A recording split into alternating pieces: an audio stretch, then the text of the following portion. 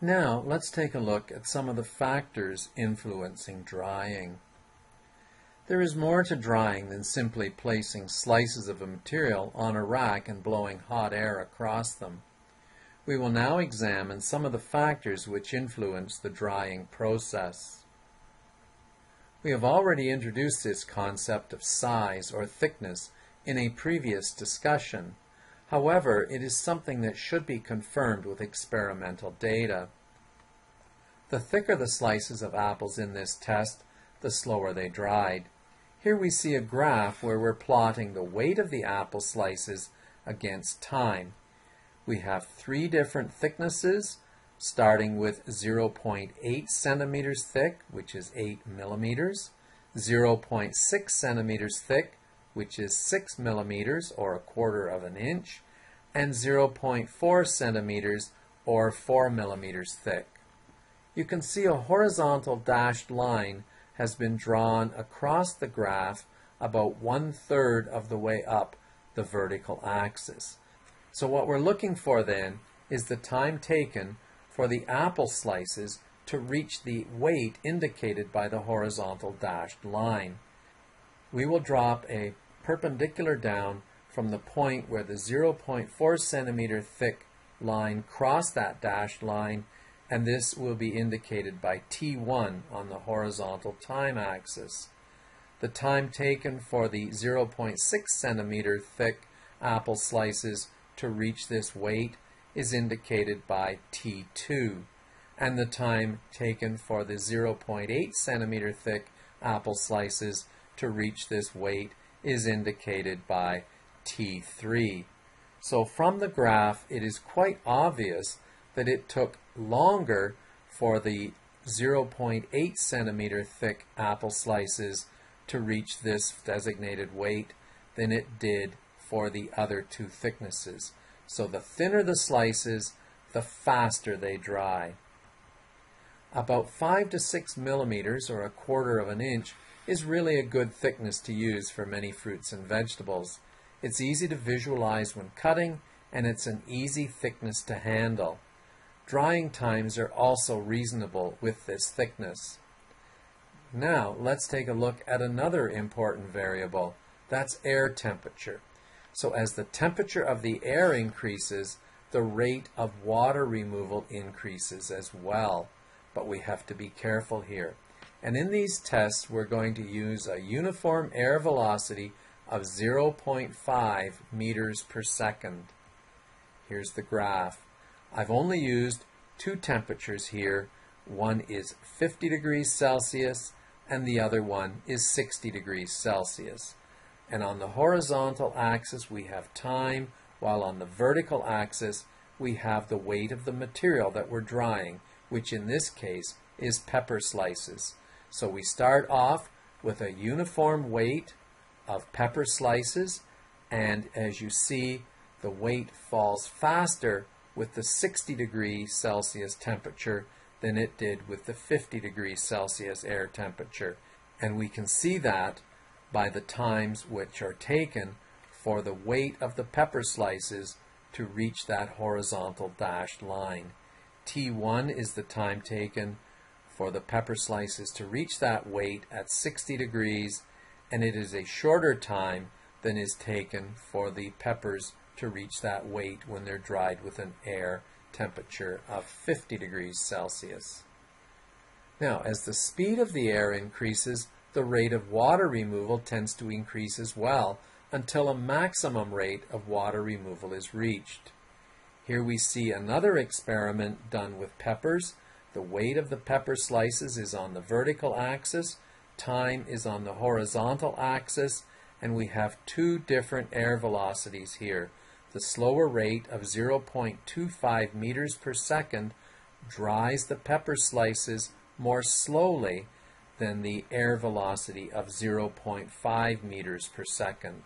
And in this series of tests, I did air velocities of 0.75 meters per second and 1.0 meters per second as well, and they showed very little improvement over the 0.5 meter per second air velocity.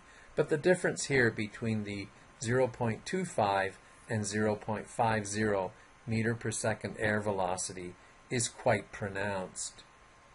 Now let's take a look at how moisture removal actually takes place. During the early stages of drying, moisture removal takes place from a pool of moisture on the saturated surface of the material. Here we see this represented diagrammatically. So warm, dry air is blowing across the surface of the material, and we're looking at it from the side of this slice of material, and we have the center line indicated by that dashed line, and moisture is traveling from the center line outwards to the surface, and we have this moisture forming a saturated pool on the surface. And as the air blows across, it evaporates moisture rapidly from the saturated surface and we have moist air leaving the dryer. The same thing will happen on the bottom surface as well if you have an open wire mesh rack in your dryer. As long as there is sufficient moisture at the surface of the material to keep it saturated, the rate of water removal will stay constant.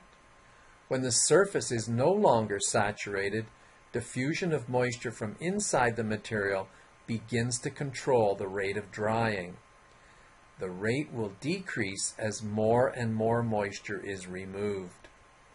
So here we see what happens now when the saturated surface is missing. There is no moisture pool on the surface. So now, as the moisture diffuses slowly from the center of the product to the surface, it is removed. So the warm, dry air picks up this moisture and it leaves as warm air, but it contains less moisture than is in the case of when we had that saturated pool of moisture on the surface. You need to understand when the drying mechanism changes from removal on the surface to diffusion being the controlling factor. This is the critical moisture content. And here we see the typical stages of drying. From point A to point B, we have what's called a warm-up period where there's no appreciable loss of moisture. And you may not see this in every test that you drew or every run that you do in your dryer. In fact, I very seldom see this in the drying runs that I do. It's very common when you have a cold material that has a lot of moisture in it but in the case of room temperature product being put into the dryer, moisture loss it begins to occur even as you're loading the dryer. Then we go from point B down to point C, which we call the constant rate drying period. This is when you have that saturated surface on the product which has a pool of moisture which is being evaporated by the warm, dry air coming into the dryer, and it's being evaporated at a constant rate. So if you were to lay a ruler along this diagram, you would find that the line from B to C is relatively straight. At point C, we then enter into what we call the falling rate drying period. Point C would represent the critical moisture content where this transition takes place. And after this, we no longer have a pool of moisture on the saturated surface of the product, and diffusion of moisture from the inside of the material begins to control the rate of water removal. So, as more and more moisture is removed, the rate of moisture removal becomes slower and slower. And finally, at point D, you see that the rate is incredibly slow and that the curve is getting to be very close to a horizontal line, indicating that no more moisture is being removed. Many drying processes do not have a warm-up period, as I said. The constant rate drying period may be quite short in some drying processes. It could be only 30 minutes long, or it could be an hour and a half, two hours, or even three hours long, but don't expect it to be much longer than that. You cannot rush the diffusion process in the falling rate drying period, and this is where a lot of people make a big mistake. They try to rush the removal of moisture. we have a stagnant boundary layer that we need to consider as well. When there is insufficient air circulation, a situation may arise where moisture evaporating from the surface of the material causes the adjoining air to become saturated with water vapor. If this happens, water removal will cease or become extremely slow. This is the development of a stagnant boundary layer and must be avoided for proper drying to take place. And I want you to take a look at the following diagram. But before we do that, just as an aside, we wear sweaters to keep a stagnant boundary layer of air against our bodies when we want to stay warm. But we use a fan to blow across our bare arms to remove the stagnant boundary layer of air when we want to cool down. So wearing a sweater like this will keep a stagnant boundary layer of air against our body that is hard for any of the air around us to remove. So here's the diagram to which I was referring for the stagnant boundary layer. Here we see the moisture at the saturated surface forming a pool of water, and that pool of water is evaporating into the air just above it. And this air can become saturated, and it's not moving away. So what we need to do then is recognize that the stagnant boundary layer of air is saturated and cannot absorb any more moisture, so evaporation will slow down or cease to take place at all. To eliminate the stagnant boundary layer, it's necessary to increase the velocity of the air in the dryer. This sweeps away the moist air from the surface of the material and replaces it with fresh dry air, which will promote evaporation from the surface of the material we are trying to dry. So air velocity has an important role in dryer operations and it is often overlooked. 0.5 meters per second works well in most of the drying tests that I have done. And I want you to beware of excessive temperatures. The mistake that a lot of people make is assuming that if 50 degrees Celsius is good for drying, then 80 degrees Celsius must be a lot better.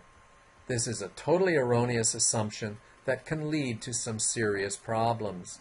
And the serious problem is called case hardening. In normal drying, there is a continuous removal of water at or near the surface of the material. And here we have a diagram showing you what has happened. We haven't shown a layer of saturation at the surface where we had the pool of moisture in the constant rate drying period, but you can see what is happening. The air flowing across the surface is evaporating the moisture and we have a good drying situation.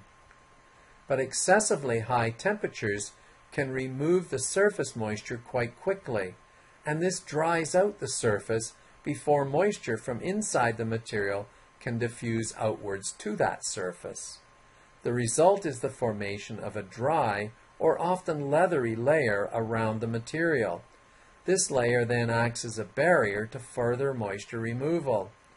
And diagrammatically, we can represent that by showing this rather dry outer layer or leathery layer as a grayish boundary around the slice that's being dried.